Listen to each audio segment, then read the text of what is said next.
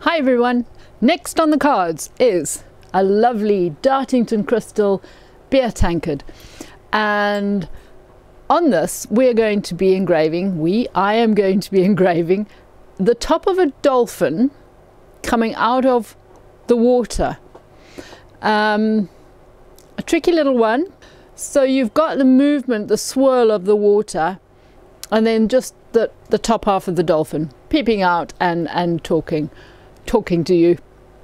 It should be great fun, right slap bang in the middle of the front, um, the front of this tankard, what we would call the front. Sometimes people like to put it on the other side, so if you're right handed, the person watching you can see the engraving, but most people want it to be facing you.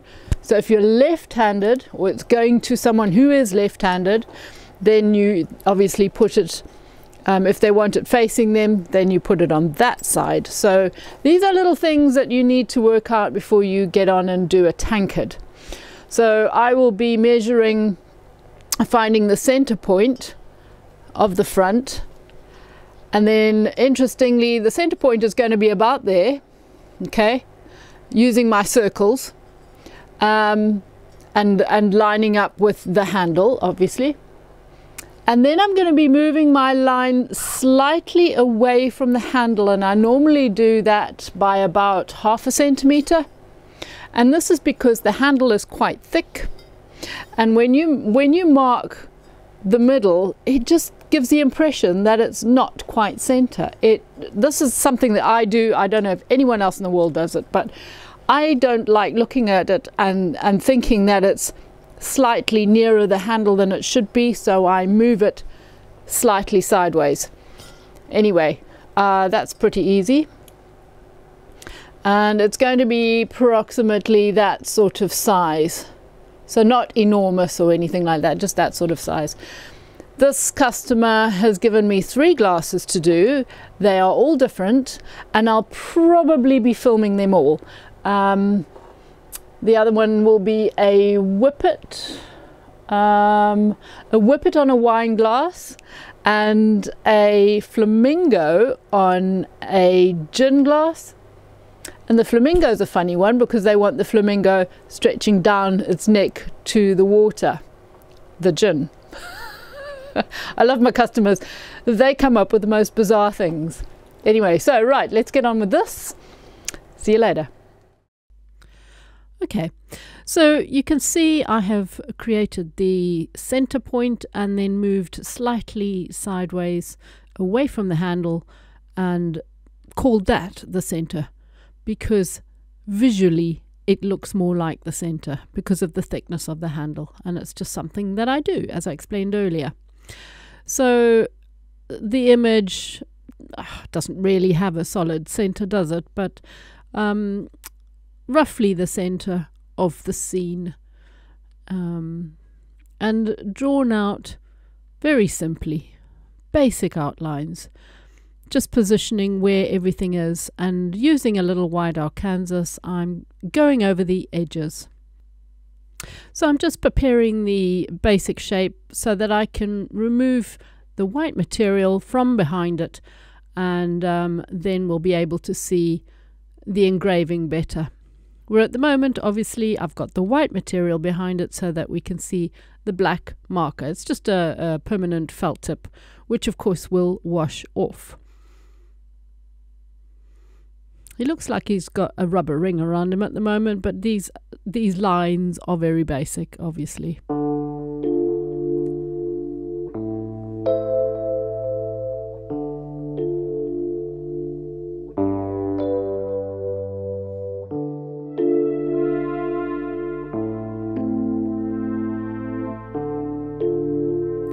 Here I have a large abrasive rubber. You can see the sparkle in it. And this on its own, on the glass, will produce a hue. So there's something there, and quite often I will use it for water. So here I have my little experimental piece, an essential bit of equipment, just so that you can play and, and test your ideas and test your burrs before you put it onto the the actual artwork.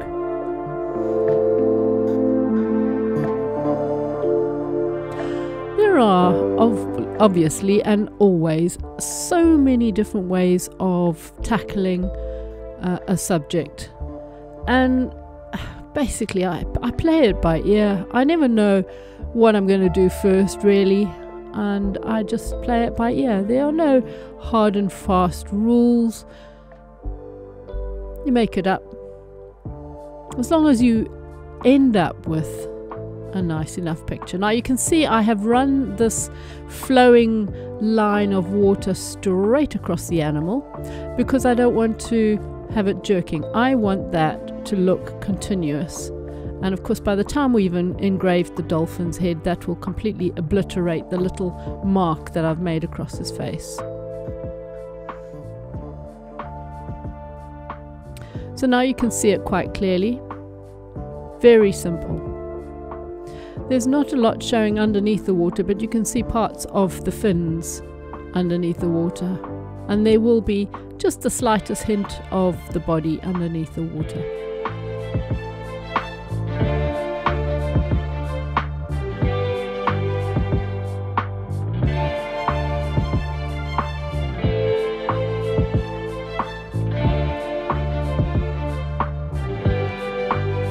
Think tapping the glass with my finger helps me think, obviously. Right, I'm showing you the very unusual markings on the water. Quite frankly, you don't have to copy exactly what you see in the picture as long as it looks roughly like water, but I was quite intrigued with the sort of almost rough texture, but without being rough, sparkly. It was a weird, weird texture on the water just where this dolphin was swirling, obviously with his fins. So I'm I'm just starting using that rubber. You can see it's it really does make quite a significant mark on the water on the on the water on the glass, even though all it is is a rubber.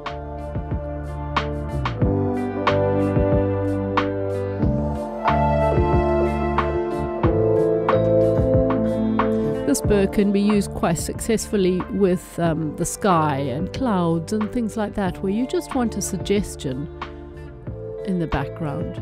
Even mountains and, and trees, if you like.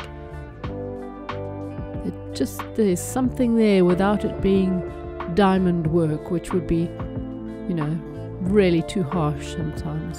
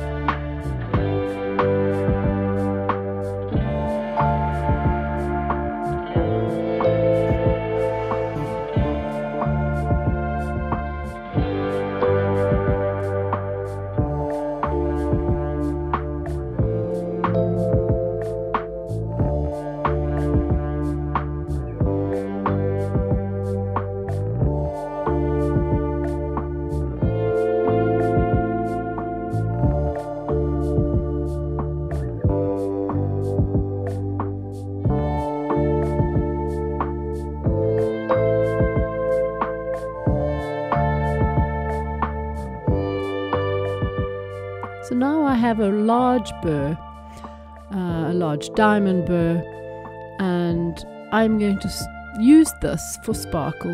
No, I've decided to change my mind. Now, this is something I would normally edit out, or sometimes I would edit it out, but quite frankly, it's, it's nice. I've gone back to the original one. It's nice for you to see how I change my mind all the time. Nothing is set in stone. I, I play around. Um, I wanted to bounce this glass, uh, uh you know, bounce the burr over the glass at very slow speed. Um, and I'm showing you here how I am barely holding the end of it and I am letting it bounce at slow speed. But quite frankly, this burr uh, is quite old and so not as sharp as it should be. I don't think I'm particularly happy with the effect of it, but it's a good demonstration of how I'm holding it. You will see now I have picked up yet another burr it's not quite the shape that I wanted. I wanted that a flame shape, but it's it's still going to produce a nice white sparkle. It's a sort of a stipply effect. Again, just holding the end and loosely in your hand and letting it bounce on the glass. Very slow speed.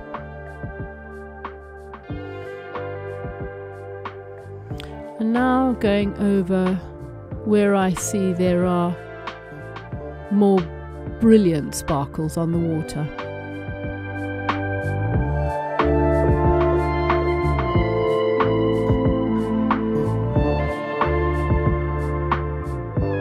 You can, if you are into stippling by hand, you can sit with a diamond point and tap, tap, tap on the glass. But I find, well, you know me, I like to do things quite quickly, and um, this for me is by far the most efficient method of stippling. Certainly something just like water.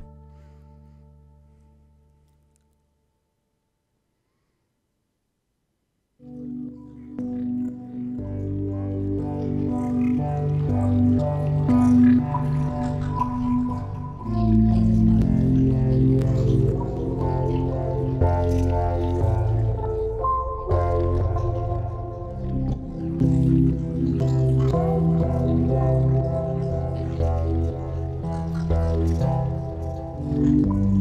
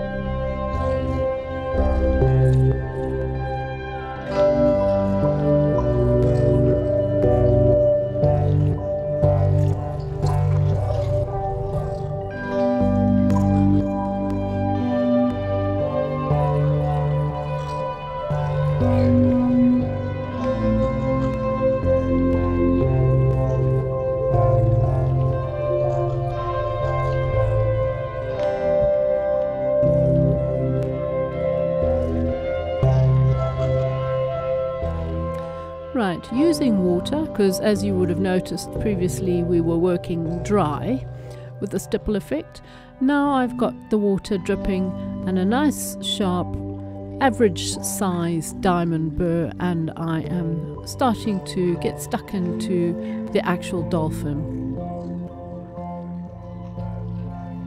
Now I don't want this line to be deep and, and, and on its own like an outline, but I did want it to be relatively deep, but blended into the rest of the animal.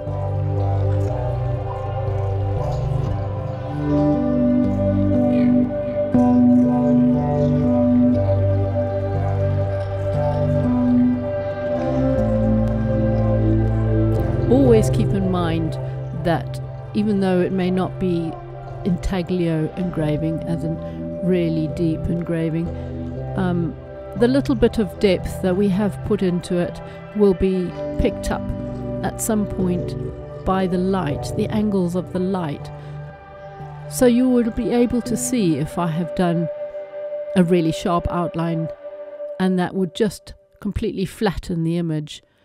Whereas if you blend it into the rest of the body, it looks like a solid body and a good shape.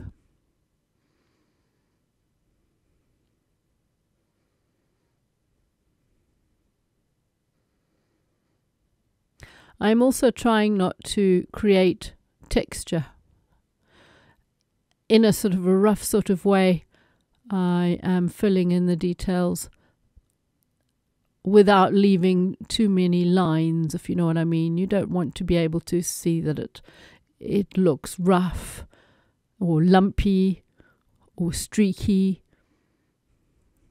This can be smoothed out a little bit more later on with um, other a larger diamond in the larger areas. Obviously, not going too close to the edges, otherwise you could sneak over the edge. Uh, some people use a rough green stone to smooth it out a bit.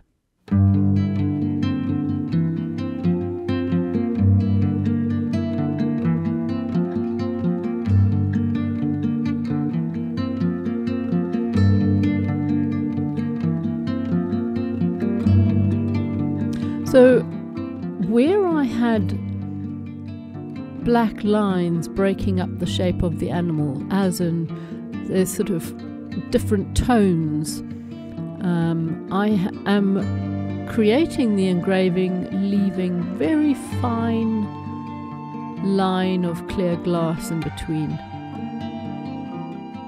And I will be able to see very clearly where those shape definitions are.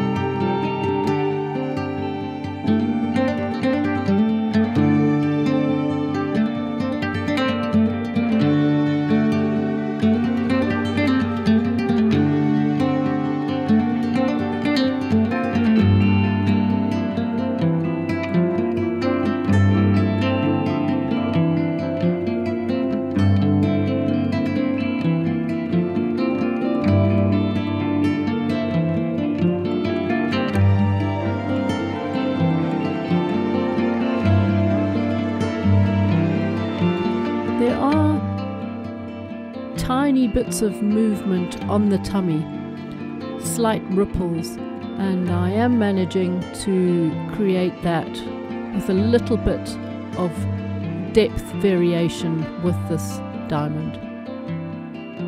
It won't be significant, but it will be just there.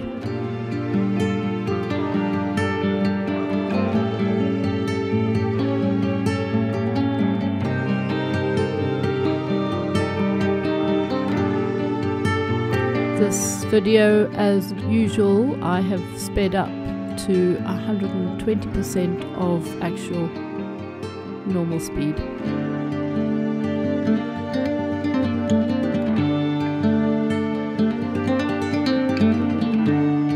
Always be very very careful of mouths, beaks, anything like that. It really is vital that they are exactly the right shape the right size.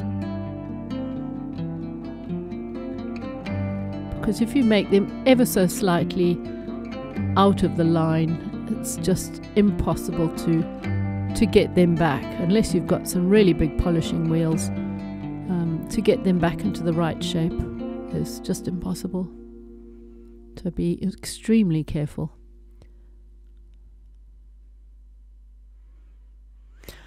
Now, quite frankly, I could have used a larger diamond for this whole tummy area.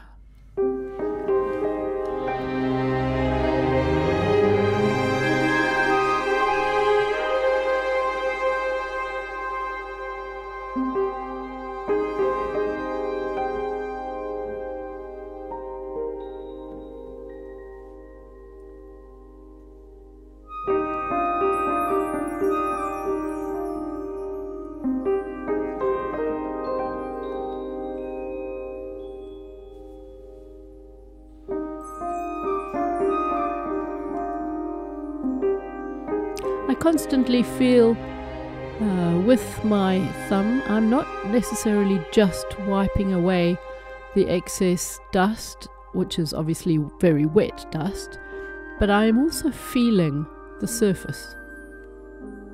I'm feeling for lumps that maybe I can't see. You can very easily feel how smooth your engraving is.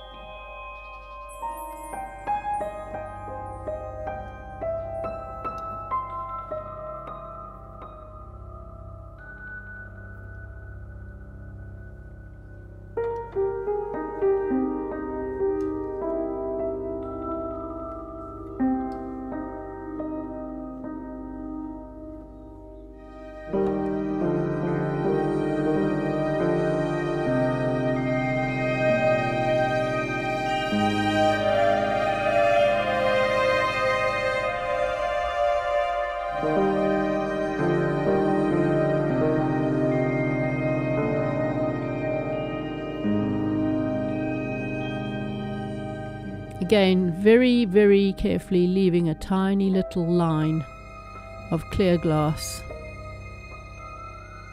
You can barely see it, in fact, where the line of the mouth is. Or um, uh, slightly deeper in, in the front.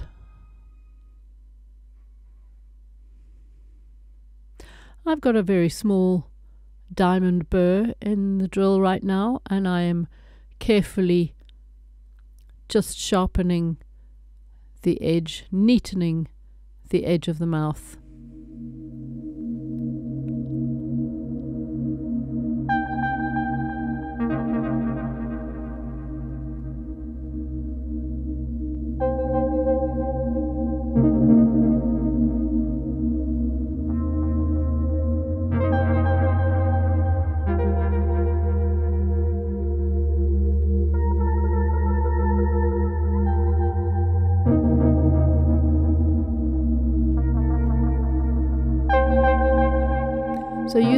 White Arkansas in the middle of the eyeball, as usual, not going too too deep, but slightly deeper, and this takes away the surface, giving it a little eyeball shape.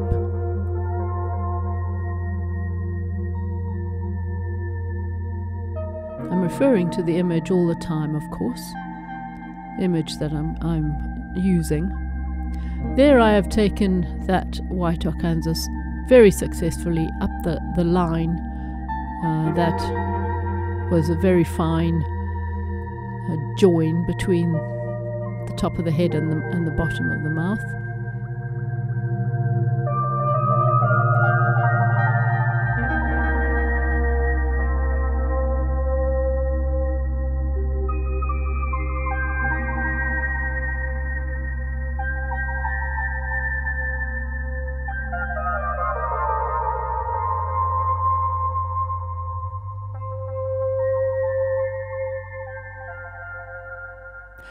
Also find when you are fixing an edge, making sure that it is really perfect, that working dry with a with a good little diamond is quite on, honestly often uh, a better way of doing it. So using a, a brown rubber, I am just polishing out the shape of the eye and going over that that mouth area.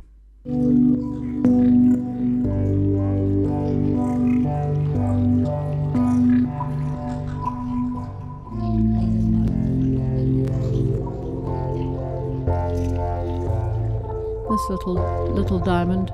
These diamonds are exactly the same as what your dentist uses in your mouth, uh, as if you didn't know.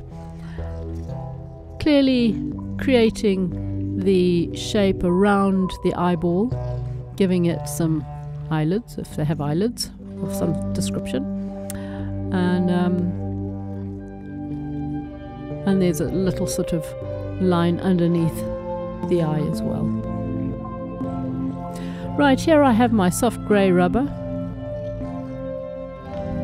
Or you can try any any rubber. if you have something that feels slightly softer.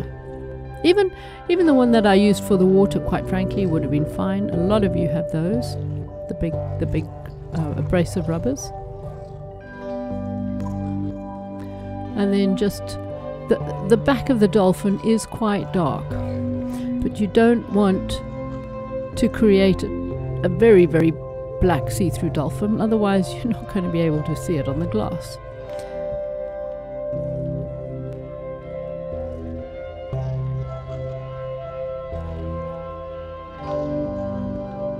So I'm just adding streaks of, of shading where I see them on the photograph.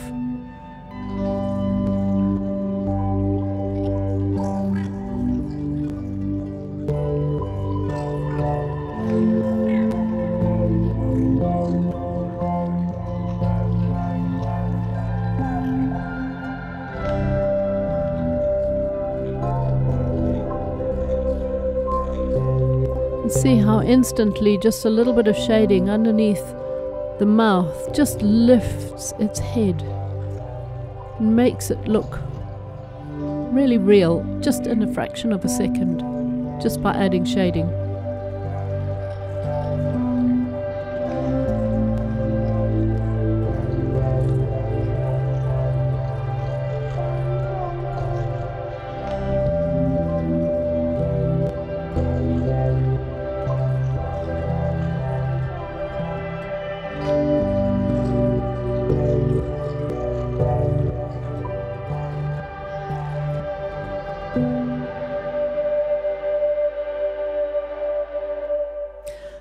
Is a funny bit of shading, but I promise you it's what's on the picture.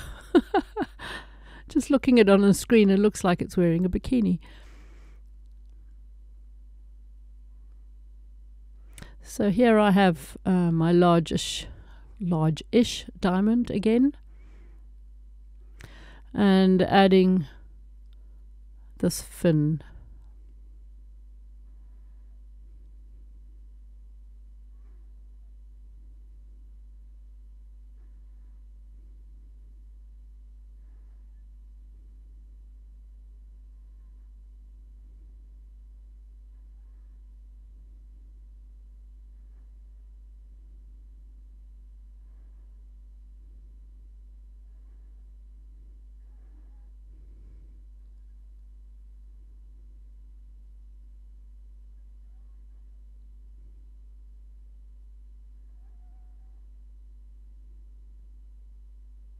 Again, like the mouth, there is a distinct line of colour, so I have just left the tiny, tiny gap of clear glass for the moment.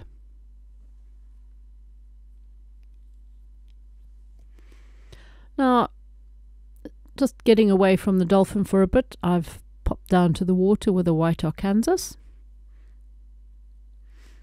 And that is to add in the bottom of the other fin.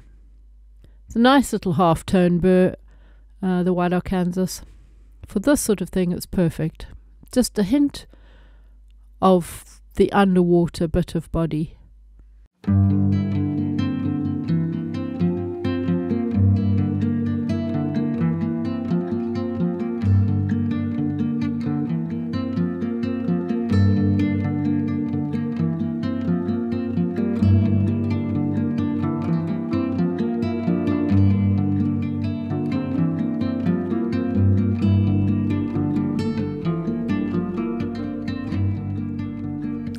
So here is the, the slightest hint of this dolphin's tummy underneath the water. It really wasn't showing up that much at all in the image.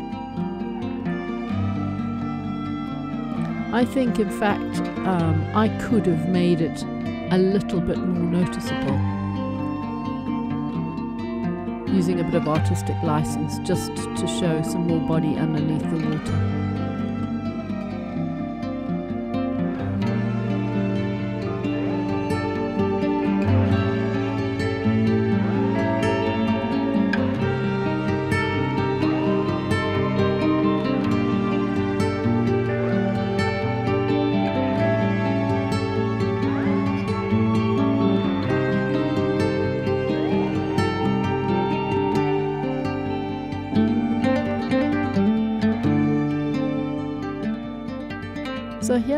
A, a rubber disc.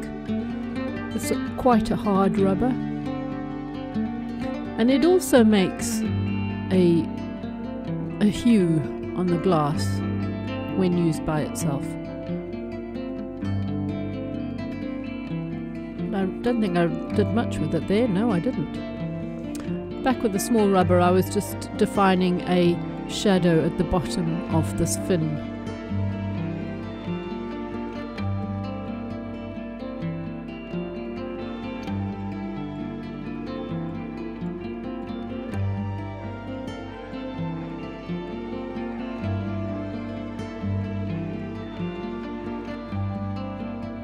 And of course then taking the white Arkansas just to add a bit of water above the fin. That's quite effective.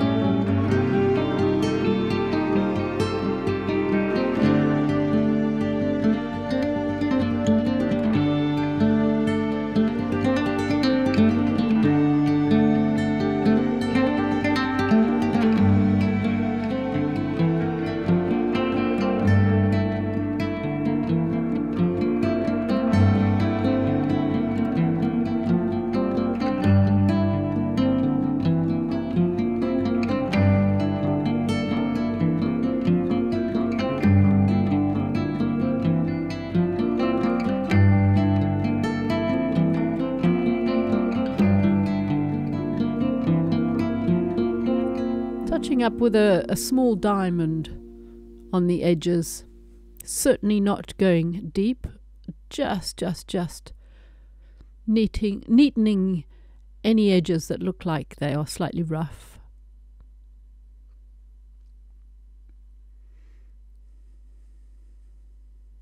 And defining that bit of top lip. They have such a cute smiley face, don't they?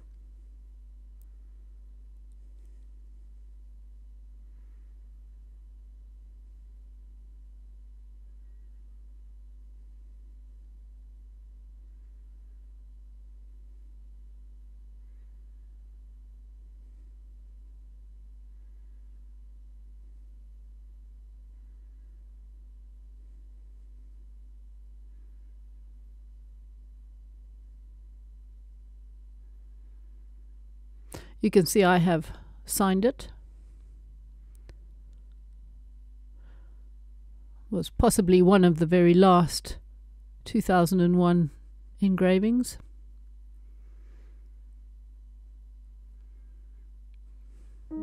Yes, you will notice I have uh, drawn with a pen a very straight line just to show a little bit more definition on the horizon. A true horizon, not just a made up wobbly one. And using this rubber disc, just the hint of that horizon. If I did manage to go over the edge of the dolphin, it would actually make it a little bit dull on those edges, and then you would just run over the edge again with the, a diamond.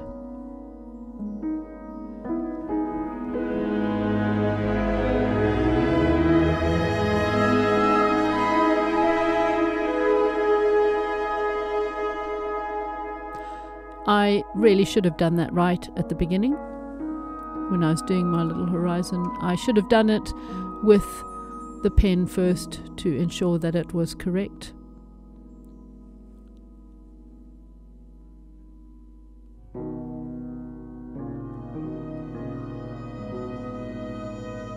It's the way I paint actually. Um, normally, I would complete the background before I do any foreground. or something like this, you want that water behind the animal.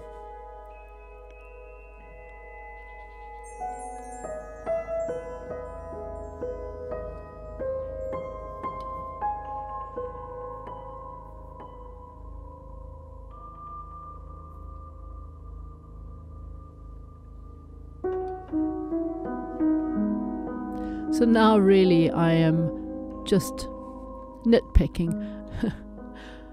finding little areas that could have a little additional shading.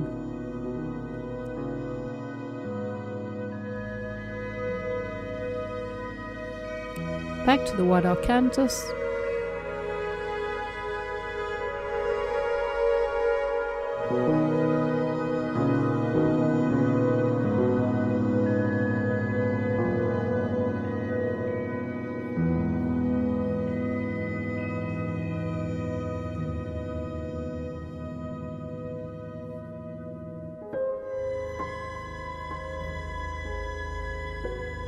So there you have it.